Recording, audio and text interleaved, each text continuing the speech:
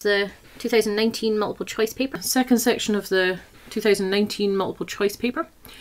Okay, which reaction can be classified as reduction? We are looking at a whole pile, sort of little scribble there, a whole pile of organic compounds here, and we've got alls, nones, and alkanoic acids in here. So what we've got is the question um, is if we take a primary alcohol,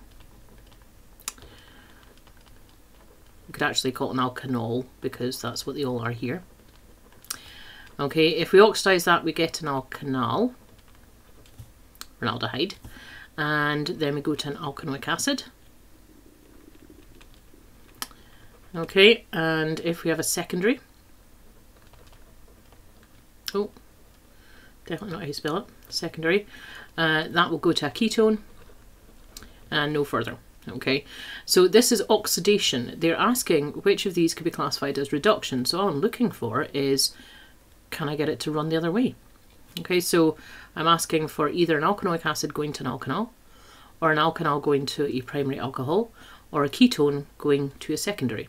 Okay, so we've got methanol going to methanoic acid, which is this run, so no. Okay, we've got propanal going to propanoic acid, so that's an al going to an alkanoic, that's a no. We've got butan 2-one going to butan 2-ol, I like that one. Okay, and we've got propan 2 all going to propanone, which is going that way. So definitely C. Okay, question 12. Oh no, I didn't, don't think I've got it neatly on. I might have to scroll down a bit. A secondary amine has two carbon atoms directly bonded to the nitrogen atom. Which of the following is a secondary amine? Okay, so just read it carefully. Two carbon atoms directly bonded to the nitrogen atom. So let's just go for a look. Okay, so here's my nitrogen atom. I only have one carbon attached to that one, so no. Here's my nitrogen. I have one, two. That's the right answer. Just to check. Here's my nitrogen. One, two, three. Nope. And here's my nitrogen and one. So definitely B. It's a little bit of a gift, actually. Read the question carefully. You're done. Okay, the number of moles of ions in a 1 mole of copper 2 phosphate is. Okay, so copper 2 means copper with a valency of 2. Phosphate, go find it in your data book, is PO4 3 minus, so it has a valency of 3. Cross them over, we get Cu3, open brackets, PO4 2. Okay, so we have 3 copper ions and we have 2 phosphate ions in there, so it gives us a total of 5 all they were asking you to do. Okay, question 14. Which of the following gas samples has the same volume as 4 grams of methane? All volumes are measured at the same temperature and pressure. This is the key. Okay, at the same temperature and pressure, all gases have the same molar volume. So therefore, if I can find something with the same number of moles, they will have the same volume. So let's just do my moles of methane. Moles is mass divided by formula mass. Oh, formula mass. That's a very dodgy M. Okay, so mass is 4, formula mass of 12 plus 4 is 16. So I am looking for something which also has a 0.25 moles. Okay, right, just run the list. Okay, N of helium, uh, 1 gram divided by 4 from the data book.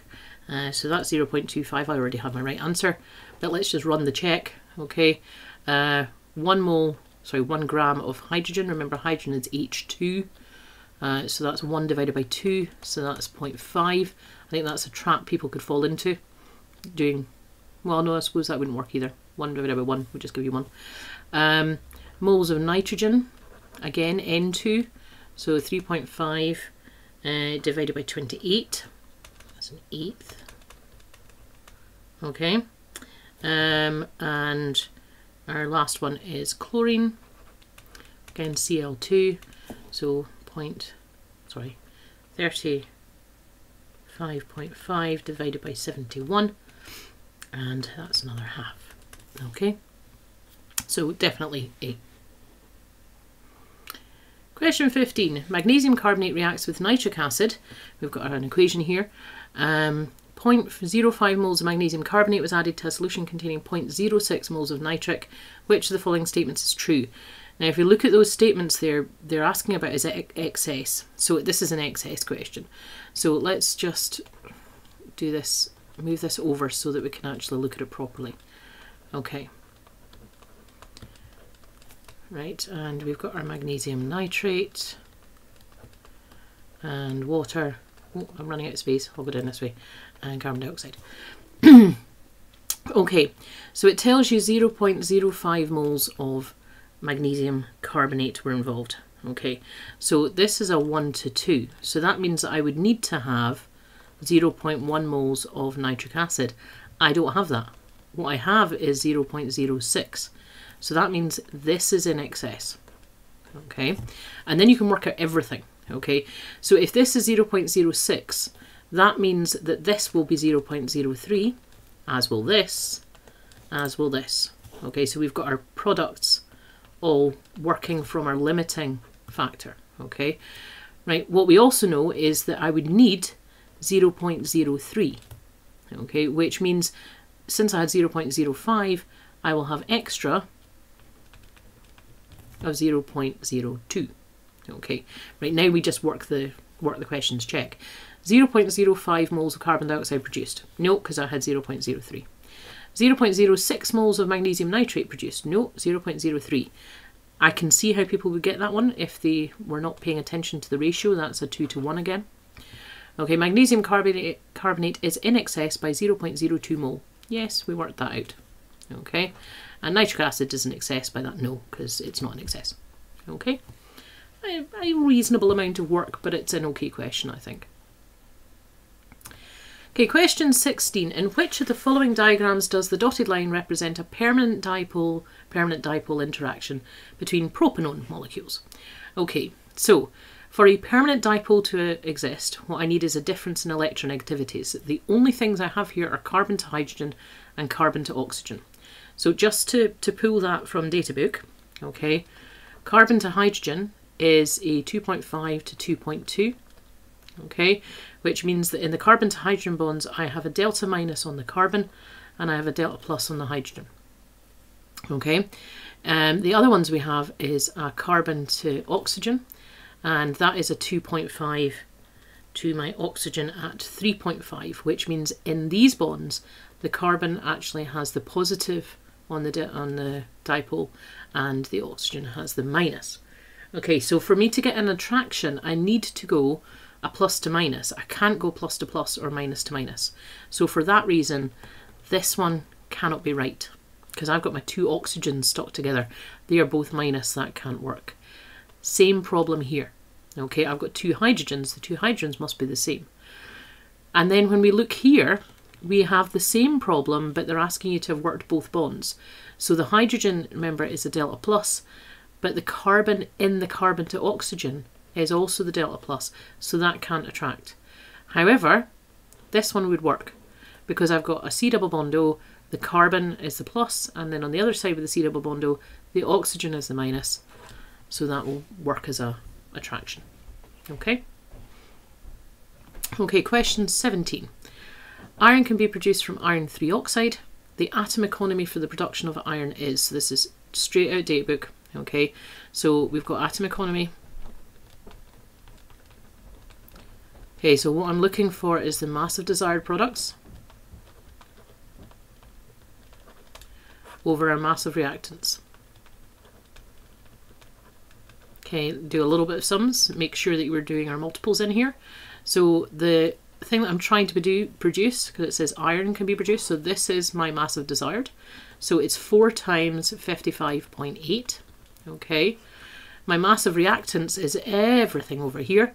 So I'm going to do 2 times 159.6 uh, plus uh, two 3 times, sorry, 12. Okay, um, so what's that work out as? That's 223.2 and I've got 319.2 plus 36 my scribbly calculations down here, which gives me 0.628, multiply that by 100 to get it up to it being a percentage, and the answer is B. Okay, question 80. 100 centimeters cubed of propane mixed with 600 centimeters cubed of oxygen. It's ignited. At the end of the reaction, total volume of gas would be. Okay, right, for a start, I'm just going to get rid of water so I don't even look at it because it's not a gas. Uh, C3H8, and then we've got 5O2, and then we've got 3CO2, just to pull out the gases and nothing else. Okay, right, I have a hundred of this. I don't even have to bother with the centimetres cubed. I can stick that in at the end. I can use this like moles. Okay, so 100 of that would need 500 of this. You had 600, so we're okay. Okay, what will happen is this will completely combust and I will have some left over. Because I had in 600, I used up 500, so therefore I'm left with 100. Okay, so let me just get rid of that as a number. Okay, so this 100 is going to be completely used up, but it's also going to decide how far you can go because it was a limiting factor. So my 100 gets completely used and will produce 300 over here. So my total, add these up, is 100 plus my 300 gives me 400. Okay. Question 19. Two-step reaction. A goes to B goes to C. First step gives you a yield of 60%. Second step is a yield of 90. Overall yield would be. Okay, you can sit and do this with real numbers if it makes you feel better, but I think it's pretty I think it's pretty easy as long as you, just make it a decimal. Okay, so step one, A to B gave you a 60% yield, that's 0.6. Step two, B to C, gave you a 90% yield of your 0.6. So just multiply that by 0.9, because that's 90%, and that will give you 0.54, and that's 54%. Okay. Question 20. Okay, the volume of hydrogen gas given off against time when an excess of zinc lumps is added to 100 centimeters cubed of 1 molar hydrochloric. Which of the following graphs would show the volume of hydrogen gas given off when an excess of zinc powder was added to 50 centimeters cubed of 1 molar hydrochloric? So I'm just going to try and get them. Ah, it's not perfect. Can't get it to sit where it should. We're going to have to live that down a little bit. Okay, right, so let's look to see what's changed. Okay, right, this says lumps. Can't really read it perfectly, but okay, we've changed from zinc lumps to zinc powder. That's important. What that means is this graph is going to get sharper. Okay, we're going to get a, a faster initial reaction. So, so I'm looking for speedy. So let's get rid of these two. Okay, because these two are doing the same thing as the original. Okay, and then the other thing we've changed, we had 100 centimeters cubed of one molar, and now we've got 50 centimeters cubed of one molar. So I have halved the hydrochloric kind of reactant that I have available. Remember, it was an excess of the lumps and the powder, so that's got nothing to do with how far it goes. It's the hydrochloric that decides how far it goes.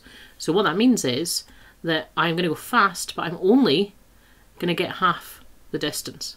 Okay, so I'm looking for C.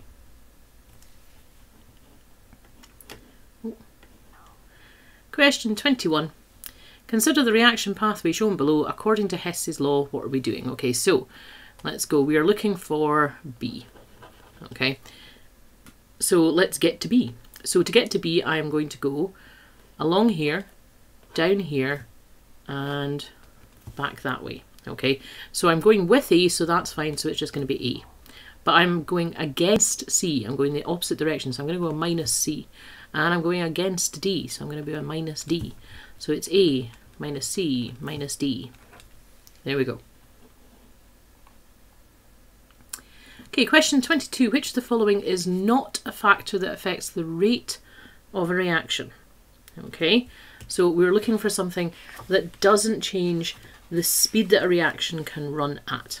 Okay, so I expect you to know these. It's, I don't think it's excessively difficult. This is collision theory, which you've done for quite a few years. Okay, um, so if things are happening and collisions are taking place, then the kinetic energy of the reactant molecules obviously must be involved in that because the faster they're moving, uh, the more likely they are to bounce into one another, and they're more likely to have enough energy for them to actually do the reaction. Okay. In the same way, the activation energy has a massive impact on rate because if that's really high, then that will mean that there's less and less chance of a successful collision, whereas if it's low, then it will speed it up. So that's definitely involved as well. Concentration of reactants, you should straight up know that affects the number of collisions, not that. Enthalpy of reaction is not to do with the rate, it is just describing the reaction pathway. Okay, so D. 23. In which the following reactions would the yield of product be increased by lowering the pressure? Okay, so this is Le Chatelier. What we're saying is um, we're looking for increased yield of product. So that means we need to go, oh, we need to go this way. Okay, we need to shift it to the right. And what we need to do, therefore, is for the minimization of disruption, the way it wants to go is to go to the right. So lowering the pressure. So if I lower the pressure, what it will try to do is to increase the number of moles of gas available. So that means I need to have more moles of gas on this side. Okay, I need more moles of gas. Oh, more moles gas on the product size and I need less moles of gas over here. And then just do your do your working. Okay, so A, we've got two on this side, two on that side. Well, that's pressure's not actually going to do anything to that.